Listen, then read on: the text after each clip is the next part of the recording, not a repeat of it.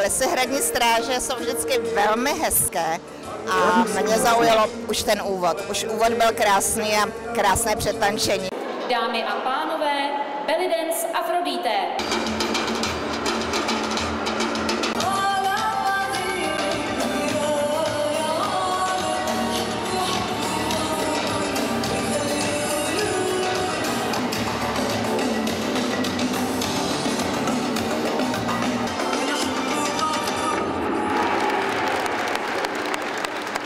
Tak já myslím, že to je ples nesmírně kvalitní.